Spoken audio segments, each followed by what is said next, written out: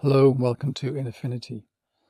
I was recently did a video using a picture. I wanted mountains and lake and so on, so I went to the stock picture things here and it was one of these Unsplash Pexels or Pixabay and I wanted sort of mountains and lakes and things like that so I searched on it and I brought in the image and I did a video and I thought right I had a, an image credit so to credit who did it.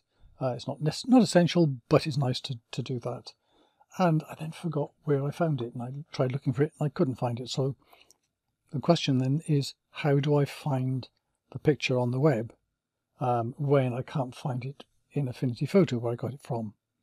And the answer is to do a reverse image search.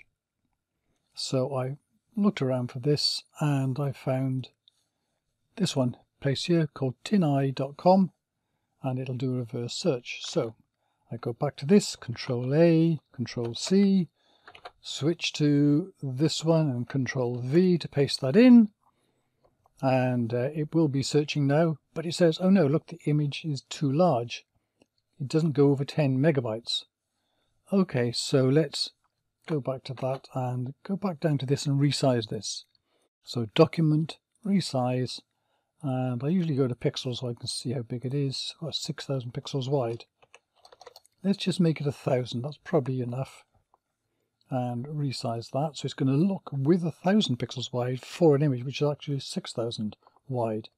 So Control A, Control C, switch to the this one here, Control V to paste it. And here it is.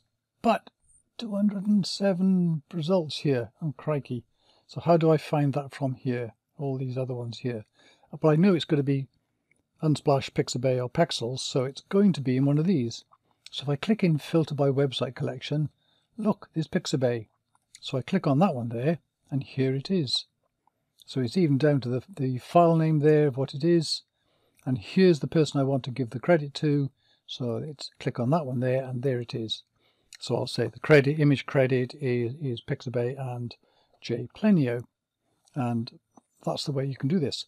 Also, what you can do is, is if you've got an image you got on a website here, then I can right click here and copy image. But if, if this image is too big or I'm doing it from somewhere else, I can also go to Affinity Photo, click on File and New from Clipboard. And there's that picture there from the clipboard, very impressive picture. And then I can go Control A, Control C, tab over to the image here. Let's go back to TinEye. There we go, and then just paste into that. Control V.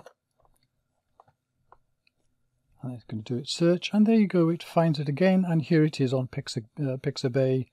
So that's the picture that I found. So I've gone full circle there. So there you go. It's a way, great way of finding images, checking where they are.